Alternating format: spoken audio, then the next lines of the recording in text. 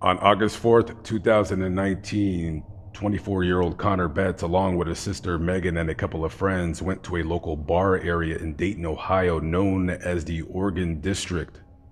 As he excused himself from his friends and his sister, he walked back to his vehicle where he retrieved his semi automatic rifle with a 100 round drum magazine and tactical body armor. As he walked back to Fifth Street, he started firing his rifle at any and everyone. In an estimated 30 seconds, he fired off 41 shots, killing nine people and wounding 17 others, one of the dead being his own sister Megan. Afterwards, the police confronted Connor, firing multiple shots, killing him instantly.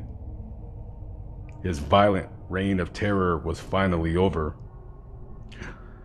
Serving a search warrant going through his personal writings and social media postings, it was clearly evident that Connor Betts was a powder keg waiting to explode.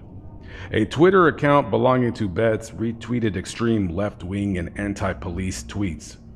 His last posting was a retweet quote, Millennials have a message for the Joe Biden generation. Hurry up and die, unquote.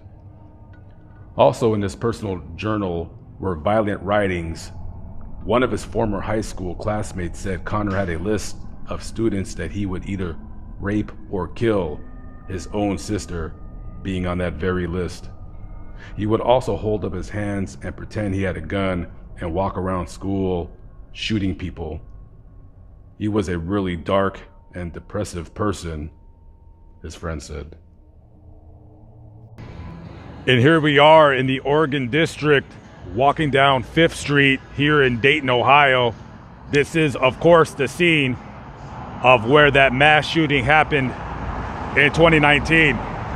If you see directly in front of you, that is a bar called Blind Bob's. Now, presumably, that is the bar where Connor and his sister Megan, with her friends, came to to start a night of bar hopping.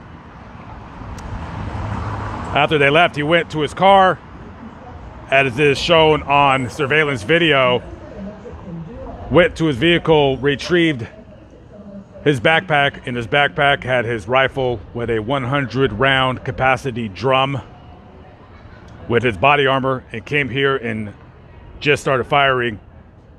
Of course, his sister Megan was one of the nine people murdered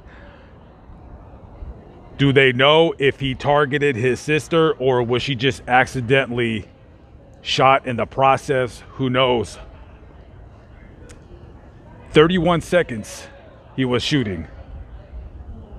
And after that, the police, which were presumably right down the street, right here, seen what was happening and ran, returned fire, and killed him.